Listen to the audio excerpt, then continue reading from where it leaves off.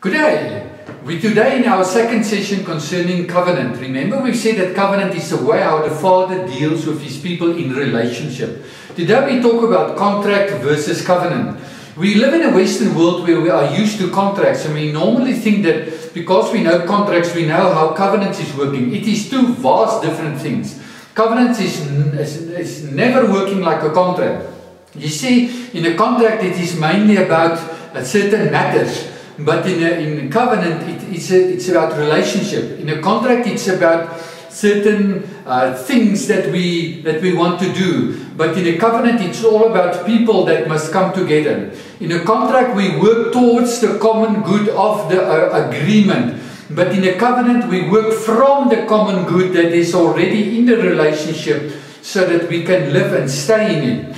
You see, in a in a in, in in a contract you need both parties to participate together to bring their part otherwise the contract will be broken.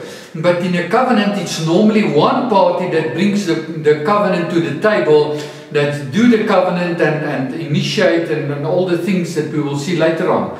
Therefore in a contract it can be broken but the covenant cannot be broken. So this is two different worlds Uh, normally we have contracts in the business world, but we have covenants in relationships. So this is two different things, and we're going to look further into it in the in the uh, next of the month. Thank you very much.